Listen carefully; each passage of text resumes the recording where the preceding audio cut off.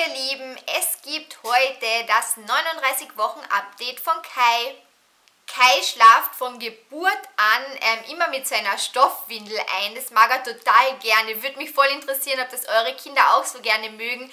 Da kuschelt er sich so richtig rein und das liebt er auch jetzt noch. Also ähm, ohne Windel schlafen geht fast gar nicht. Und ähm, wenn ich ihn ins Bett lege, dann er kuschelt sich einfach so richtig rein und genießt das total. Er kämpft noch immer ein wenig mit den Zähnen, also er knabbert sehr viel rum und ähm, reibt ordentlich im Mund. Ich war jetzt in der Apotheke und habe eine Veilchenwurzel gekauft. Ähm, ich weiß, in Deutschland gibt es in jeder Drogerie. Ich glaube, in Österreich gibt es die bei Müller, aber Müller ist bei mir kilometerweit entfernt.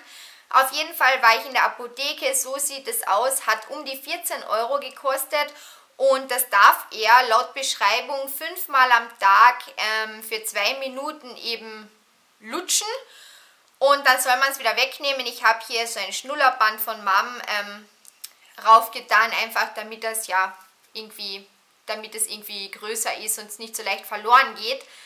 Ähm, die kann man auch abkochen und ist so ganz hart.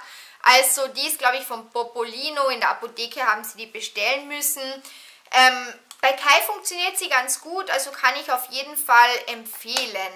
Was er diese Woche auch noch ganz stark gemacht hat, er wollte immer alles selbst essen. Also ähm, Brei füttern ging fast gar nicht. Ich habe mir dann immer irgendwie was überlegt, was ich ihm kochen könnte.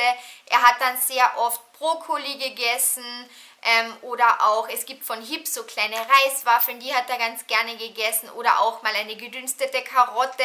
Also er wollte einfach immer alles selbst angreifen, selbst kauen und selbst in den Mund stecken was er auch macht, er will halt überall dabei sein. Also wenn er im Wohnzimmer ist, ich gehe in die Küche, dann krabbelt er mir nach in die Küche. Ähm, dann zieht er sich auch überall auf, also er zieht sich dann bei meinem Hosenbein auf, weil er unbedingt wissen will, was ich mache. Und ähm, ja, also er ist einfach überall dabei, wenn, wenn es an der Haustüre läutet, ähm, und ich hingehe, dann krabbelt er nach wie ein Hund. Also er ist total neugierig, will alles wissen. Und was bei ihm eben auch ganz auffällig ist, er liebt es zu stehen. Also er zieht sich überall auf, er steht überall. Ähm, ich lasse ihm da wirklich auch sehr viel Freiraum in der ganzen Wohnung. Also er ist, wir haben zwei Laufgitter. ähm, eines von Roba, das haben wir ähm, ja schon gehabt, dass er ein kleines Baby war. Das habe ich immer so als Tagesbett quasi benutzt. Und dann haben wir noch von Haug eines, was man auch so als ähm, Absperrgitter verwenden kann. Ich kann euch beide in der Infobox verlinken. Auf jeden Fall ist es so, dass ich ihn da nur sehr selten drinnen lasse, weil er das auch gar nicht mehr so gerne mag. Also er braucht wirklich sehr viel Freiraum. Ähm, ich finde aber Laufgitter immer super praktisch, wenn man einfach mal kurz, ähm, ja, wenn ich kurz in den Keller gehen muss oder sonstiges, einfach weil man weiß, da ist er sicher und da kann einfach nichts passieren.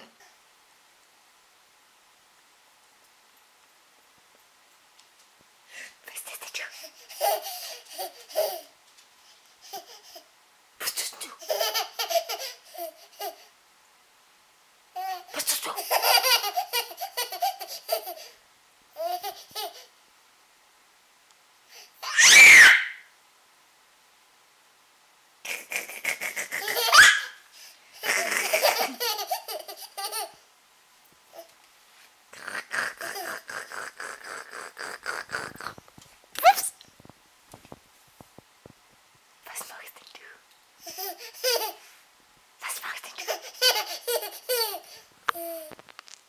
das war auch das Aufregendste, also dass er wirklich die Woche sehr entdeckungslustig ist. Ansonsten hat sich die Woche gar nicht so extrem viel getan, deshalb auch dieses kurze Update. Ich hoffe, ihr freut euch trotzdem und ich sage danke fürs Zusehen. Bis bald, tschüss!